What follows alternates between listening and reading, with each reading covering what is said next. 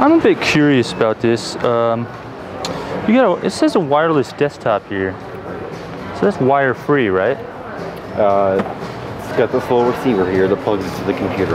Okay, so you would It say it communicates with both of these two. you would say that wireless and wire free are the same thing? I'm not sure what's a wire free, but but when it's wireless, But it- there's no wire. So it's basically wire free. Yeah. Okay. Let me ask you something else. Um, you used to be a bull rider? What? Me? No. You used to be a bullfighter. No. You didn't used to be a bullfighter? No. You strike me as somebody who could handle a large beast. you know, I'd say if this was like uh, three or four hundred years ago, I could definitely see you being a gladiator. Yeah. You just have a way about you, you know? Really? I think it's the shoulders, really. Can I feel your shoulders? Oh, wow.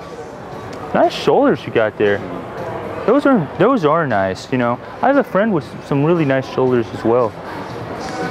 He wanted to be a bullfighter, but you know, he just didn't have it in him. You strike me as somebody who does. Let me answer this. Are you happy? Happy? Yeah. That's a tough question.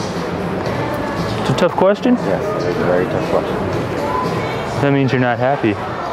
You see, I had a, I had a feeling you weren't you weren't happy. You know? Well, I definitely could sense some sort of uh, sadness inside you.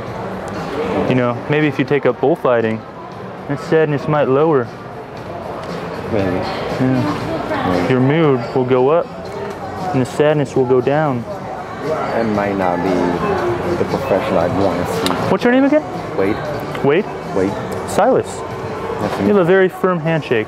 Thank you. Definitely a bullfighter's handshake. Mm-hmm. Yeah. Interesting. Can you take your glasses off for me? I'm going to take the glasses off. Yeah, yeah. Bullfighters they can't wear glasses when they're fighting the bull. So, yeah, I just want to, I just want to make sure. I want to see in your eyes. take the glasses off? I get a better feeling. You know, I, I have a pretty good feeling already, but you know, just, just want to make sure.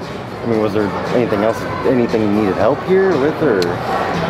Well, you already answered my question about how it's wire free, Okay. because wire free and wireless are the same thing. Yeah, pretty much. Okay. So metaphorically, let's say metaphorically, you're not wire free right now. So you got wires, and they're making you sad. Mm-hmm. Okay. Now, if you were wire free like this wireless desktop keyboard with an optical mouse, you'd be a bullfighter and you'd be happy.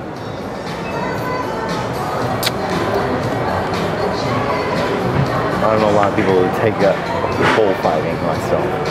Well, I don't think I do. that'd be something for me. really? You don't think? Nope. Hmm? Well, you should definitely reconsider it because I do have some friends in the bullfighting industry, and I could give you their email, or you can look them up on MySpace, maybe. Get in touch with them, and they could definitely hook you up and put you in the uh, put you in the field, per se. Yeah. Yeah. You don't want to take those glasses off? Okay, that's fine. Yeah. Take care, buddy. Yeah, sure. You as well.